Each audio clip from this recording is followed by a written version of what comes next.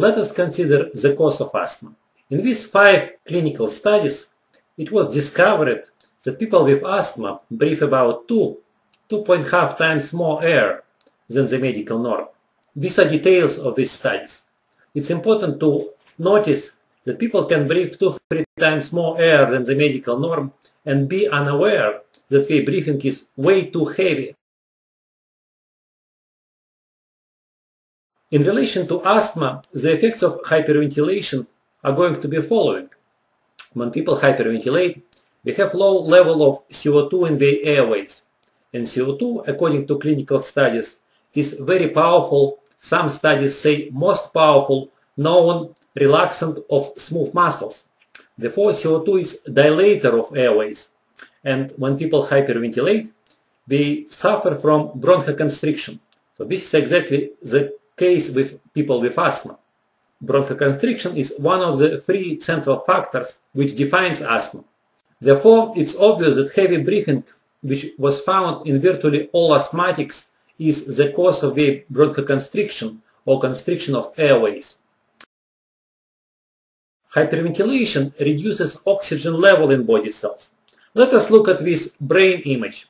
When people hyperventilate, they have low CO2, and CO2 is also dilator of blood vessels. Therefore, hyperventilation causes vasoconstriction, constriction of blood vessels, due to reduction of CO2 in the arterial blood. Therefore, asthmatics are going to suffer from low oxygen level.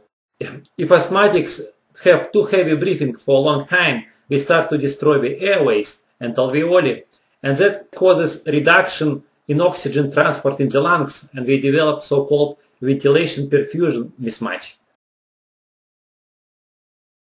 As a result of low oxygen level, the immune system becomes suppressed and it also becomes hypersensitive to innocent triggers.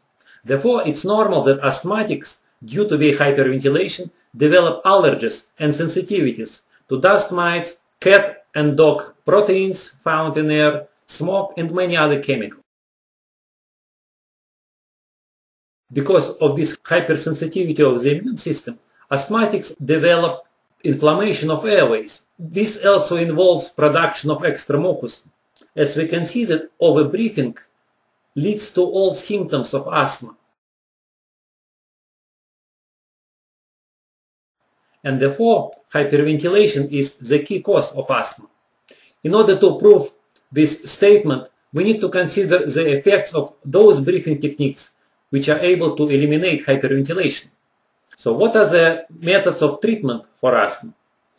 One of the techniques is called the Buteyko breathing method and it was investigated in six published clinical randomized trials. These trials found that asthmatics are able to eliminate the use of bronchodilators in about three months time by 90%. That means we are going to use 10 times less medication if we are talking about a large group of asthmatics if they practice breathing exercises. And the goal of these breathing exercises is to slow down the breathing pattern back to the medical norm and increase body oxygenation. I'm not just talking about practicing some breathing exercises. What is important in case of asthma and some other chronic diseases is to slow down so-called automatic or unconscious breathing pattern back to the medical norm. So you can imagine it's quite a difficult challenge because the person needs to adjust or maybe change many lifestyle risk factors that relates to sleep, physical exercise, diet and many other. Therefore, asthma has a simple cause and it also has a proven clinical treatment. Apart from the Buteyko method, there is another breathing technique which is based on the application of the Frolov breathing device.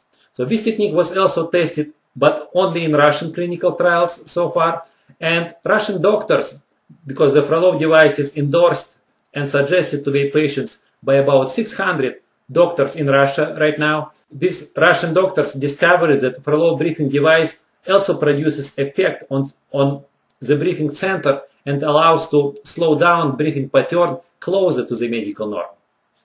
In practical terms, it is not easy to measure breathing and body oxygenation. We require special devices, but there is a simple test which is called body oxygen test. And this test has a very good correlations with symptoms of asthma.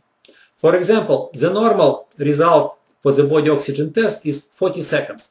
People with asthma, and since I'm practicing and teaching the Buteyko breathing method, I know that we have around 15 seconds only. People with severe asthma around 10 seconds. And when we start to practice breathing exercises and do lifestyle changes, we gradually improve the body oxygenation. When we achieve about 25 seconds, we usually do not require any medication.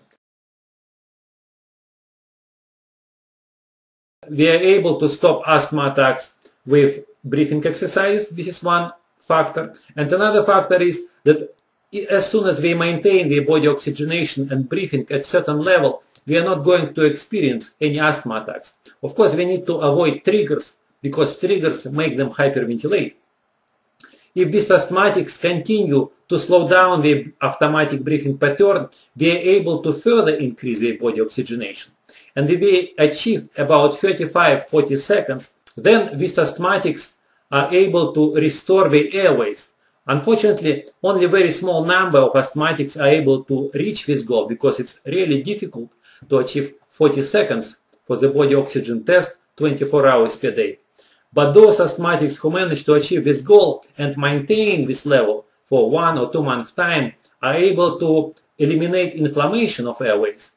And then the parameters of lung function test are going to be normal as well. In order to find out more about this proven treatment of asthma and what are the required steps in order to improve body oxygenation and slow down breathing, you can visit web pages of the website normalbreathing.com.